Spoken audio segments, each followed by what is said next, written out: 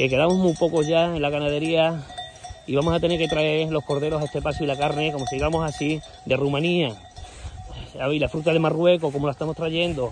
Que aquí nos ponéis muchas historias, no hay que curar con esto para los, para los agricultores y para los ganaderos.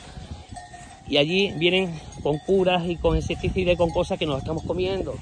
Y aquí lo llevamos muy bien, de verdad. En España lo lleva bien el tema de sanidad. Tanto animal como vegetal, ¿eh? Así que, por favor, por favor, por favor, vamos a intentar llevarnos bien todos, hacer las cosas bien y no faltarnos el respeto, porque yo no falto a nadie el respeto, ni ningún ganadero falta a nadie el respeto. ¿Sabes? Lo único que hacemos es trabajar y seguir trabajando, porque aparte que nos gusta, para que la gente coma carne de calidad, porque esto es calidad, ¿eh? Esto es calidad, esto no es lo que se trae de por ahí, esto es calidad. Tenemos los mejores productos en España.